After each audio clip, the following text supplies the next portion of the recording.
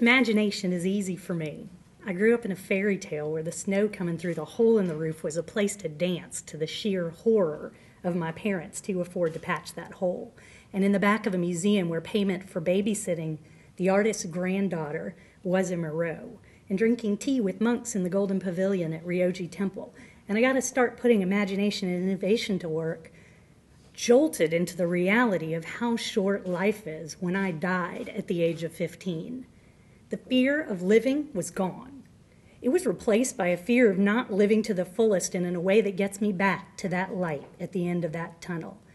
I feel closest to that light helping others and have been honored to give back to women, individuals, business owners, and those who have gone on to help myriads of other women. Imagine the women of Cheatham Place, a public housing community in Germantown. Their kids may not get a Christmas meal or be Salvation Army angels.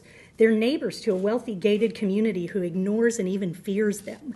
I imagined, and I used social media and online payments to d- gather donations and volunteers, bring presents and food and Santa. I exposed those wealthy neighbors quietly as servers while the Cheatham ladies are in the foreground, proud of the blessings that they're bestowing on their community.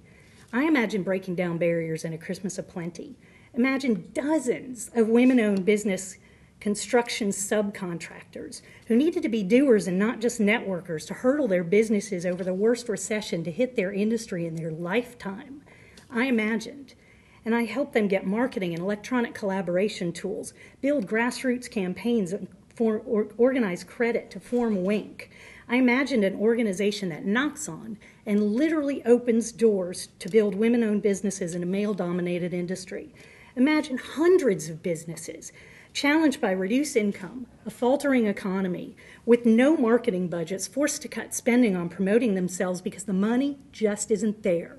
I imagined, and I built a 13 step process that takes little time and no money, using only knowledge of your own ideal customers to target and bring those customers to you.